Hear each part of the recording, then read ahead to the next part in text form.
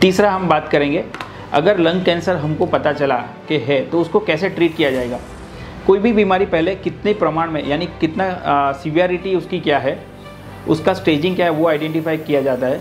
दूसरा, उसका treatment plan उसके हिसाब से किया जाता है। और तीसरा, ये बीमारी आगे ज़्यादा ना बढ़े या उसको कैसे प्रिवेंट किया जा सकता है। जब भी डॉक्टर्स को पता चलता है कि आप पेशेंट को लंग कैंसर हुआ है तो सबसे पहले उस, वो ऐसे पेशेंट का बायोप्सी लेके कौन से टाइप का कैंसर है एमआरआई स्कैन करके वो कैंसर कहाँ कहाँ पे फैला है, उसको आइडेंटिफाई किया जा सकता है, उसका स्टेजिंग होता है। यानी कितनी ज़्यादा फैल चुकी है, वो एक आइडेंटिफिकेशन होता है।